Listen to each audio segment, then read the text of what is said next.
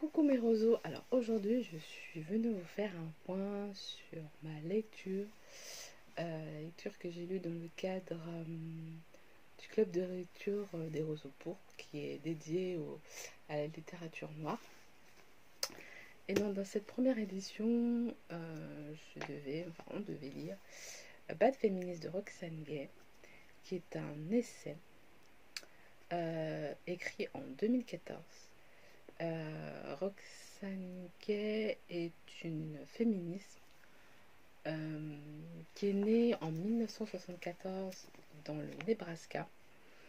Euh, elle est issue d'une famille haïtienne et elle travaille en tant que professeur agrégé d'anglais et en, en, tant que professeur d'écriture créative euh, à l'université de Purdue, Purdue, je sais pas comment ça se prononce, euh, dans l'Illinois. Euh, donc cet essai fait 40, 446 pages et il est divisé en 5 parties et ces 5 parties sont aussi divisées en, en sous-parties. Donc voilà, que dire de Bad Feminism C'est un essai euh, qui est très bien écrit. Il est très fluide. Euh,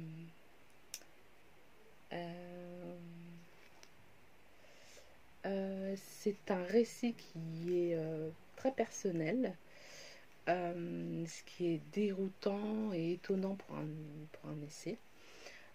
puisque en général les essais c'est plutôt on prend beaucoup de recul par rapport à soi euh, et, là, c'est tout le contraire en fait. Dans cet essai, elle ramène un peu, bah, j'allais dire, elle ramène tout à elle, mais c'est pas ça. Elle ramène tout dans sa propre expérience. Et c'est ça qui est déroutant et en même temps hyper intéressant. Et donc, euh, les parties euh, du livre, c'est moi, genre et sexualité, race et divertissement, politique, genre et race, et encore moins. Donc en fait, au début et à la fin, elle est vraiment, elle ramène les choses à elle. Euh, mais en fait, tout au long du livre, elle ramène les choses à elle, à sa propre expérience, à elle, à sa vision du féminisme. Et je trouve que sa vision du, féminisme est très euh, humble, puisque, ben voilà, comme son nom l'indique, euh, elle se considère comme une mauvaise féministe. Mais je trouve qu'avec cette humilité, elle, euh, en fait, elle élargit euh, le féminisme au lieu de, s'enfermer dans quelque chose. Voilà, le féminisme c'est comme ci, c'est comme ça, c'est comme ça. Eh ben, elle, a une vision vraiment large en fait de tout le féminisme et, euh, et je trouve ça hyper intéressant et hyper hyper euh, honorable de sa part. Et, euh, et du coup, euh, voilà, ben voilà j'ai bien, j'ai beaucoup aimé cette lecture. Je suis très contente d'avoir commencé par cette lecture parce que ça pose les bases de mon, de mon club de lecture. Et, voilà, moi je j'ai bien aimé le style, j'ai bien aimé bah, le sujet, c'est un sujet qui m'intéresse énormément, le féminisme. Donc déjà, il y avait il y avait beaucoup de choses qui devaient me plaire et, euh, ça m'a beaucoup plu. Euh, j'ai beaucoup aimé la première partie. Euh, j'ai peut-être moins aimé, enfin pas moins aimé, mais elle fait référence à des séries, à des choses que moi je n'ai pas lues. Elle fait référence à des séries, à des livres que je n'ai pas lus moi, dans genre et sexualité.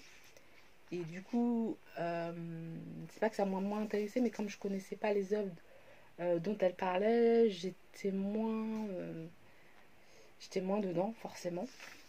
race et divertissement, j'ai bien aimé parce qu'elle parle d'œuvres que je connais. Elle parle notamment de La couleur des sentiments. Elle parle de Django. Elle parle de 50 nuances de grès. Euh, que je n'ai pas lu, mais bon, je connais au moins, j'en ai déjà entendu parler, ce qui n'est pas le cas de ce, dont elle parle. de pas mal de...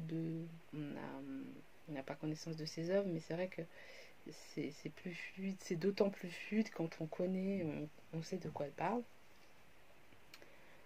Euh, elle parle beaucoup de, séries américaines, de la représentation en fait des noirs dans les séries américaines.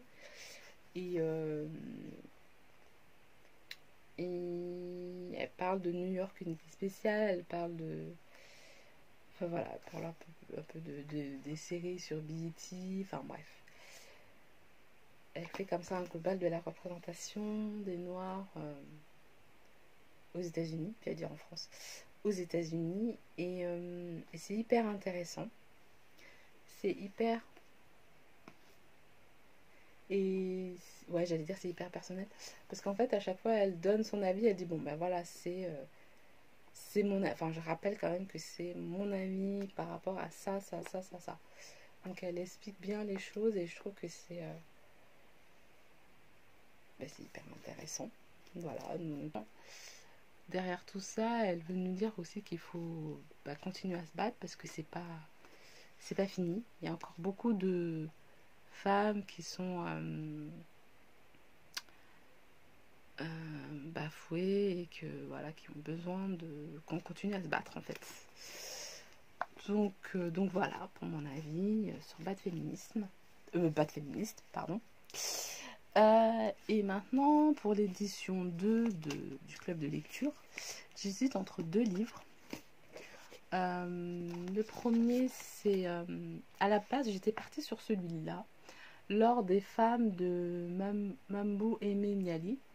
c'est une autrice, si je ne me trompe pas, congolaise.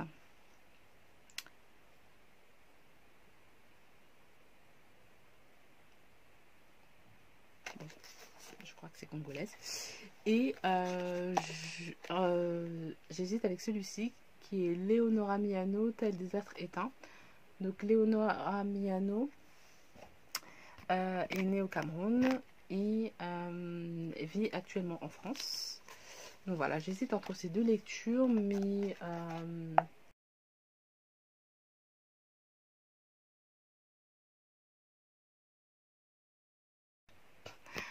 Et donc, euh, voilà. Et ben, je vous souhaite euh, une excellente journée, si vous me voyez. Euh, et puis, voilà, je vous dis à très bientôt. et n'hésitez pas à me dire ce que vous lisez actuellement, ça m'intéresse énormément. Voilà, je vous fais des bisous et je vous dis à très bientôt. Bisous, bisous.